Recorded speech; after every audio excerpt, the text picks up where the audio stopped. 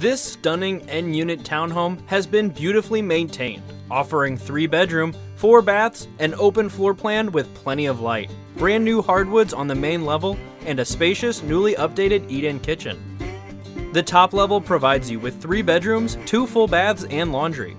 Enjoy your time outside on the huge deck and large end unit, fully fenced rear yard.